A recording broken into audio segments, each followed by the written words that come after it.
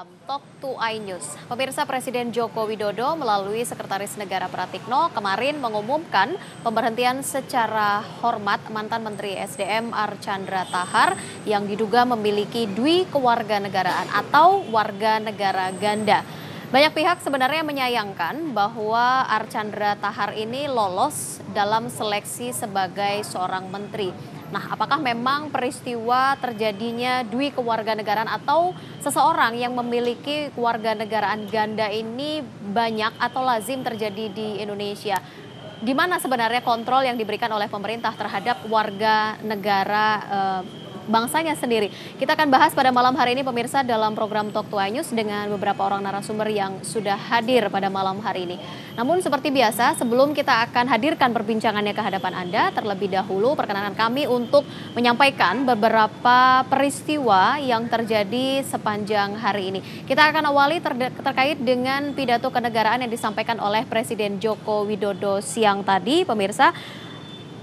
Eh, Presiden Joko Widodo telah menyampaikan pidato kenegaraan dan juga RAPBN untuk tahun 2017.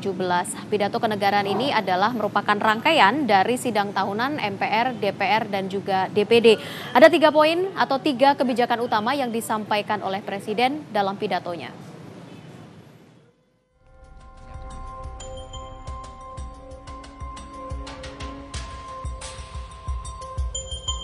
Presiden Joko Widodo menyampaikan pidato kenegaraan di hadapan seluruh anggota MPR, DPR, dan DPD Republik Indonesia. Dalam pidatonya, Presiden Jokowi menyampaikan terkait pembangunan nasional dan peningkatan daya saing bangsa.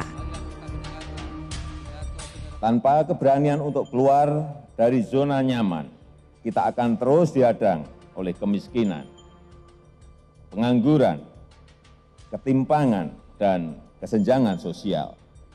Diperlukan langkah-langkah terobosan, diperlukan kecepatan kerja.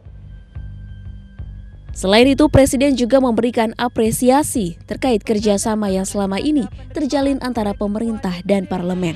Sidang tahunan ini merupakan kegiatan rutin tahunan yang digelar setiap tahun sebelum tanggal 17 Agustus untuk memperingati Hari Kemerdekaan.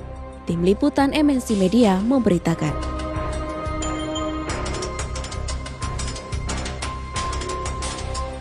Ya, beralih ke berita lain terkait dengan kasus penganiayaan wartawan MNC Media yang berada di Medan, Sumatera Utara. Andi Syafrin mengundang aksi solidaritas dari rekan-rekan wartawan. Mereka menuntut agar oknum TNI yang melakukan penganiayaan tersebut dihukum sesuai dengan ketentuan hukum.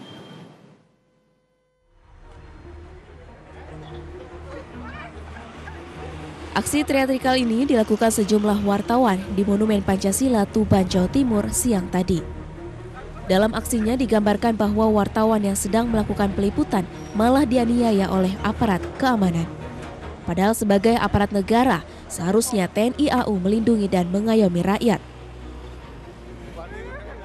Tidak hanya di Tuban, puluhan wartawan di Solo, Jawa Tengah juga menggelar aksi menuntut pengusutan kasus penganiayaan tersebut. Mereka menuntut agar oknum yang terlibat ditindak tegas sesuai prosedur yang ada karena sengaja menyerang wartawan. Aksi-aksi yang terjadi yang di Medan ini semoga untuk kali terakhir bagi seluruh wartawan di Indonesia agar tidak terjadi lagi. Sementara itu, pasca penganiayaan yang dilakukan oknum TNI AU di Medan, kondisi Andri Syafrin belum juga membaik. Korban masih merasakan nyeri dan muntah akibat penganiayaan tersebut.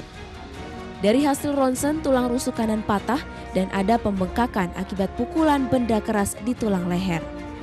Andri berharap adanya keadilan dan menindak oknum TNI AU yang menganiayanya. Tim Liputan MNC Media memberitakan.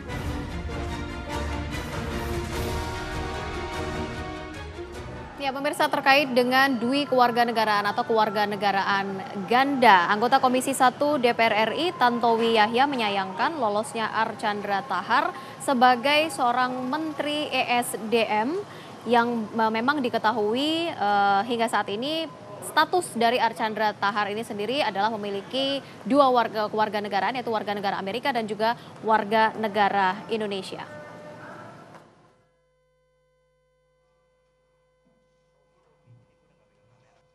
Assalamualaikum warahmatullahi Presiden Joko Widodo akhirnya memberhentikan dengan hormat Menteri Energi dan Sumber Daya Mineral Archandra Tahar setelah adanya kontroversi terhadap status keluarga yang mencuat ke publik. Archandra disebut-sebut memiliki dua keluarga negaraan yaitu Indonesia dan juga Amerika Serikat. Anggota Komisi 1 DPR RI pemirsa Tantowi Yahya menilai bahwa pemerintah telah kebobolan karena Archandra ini sempat dilantik menjadi seorang menteri. Dirinya pun berharap bahwa pemerintah dapat bekerja dengan baik agar nantinya kejadian serupa tidak terulang kembali.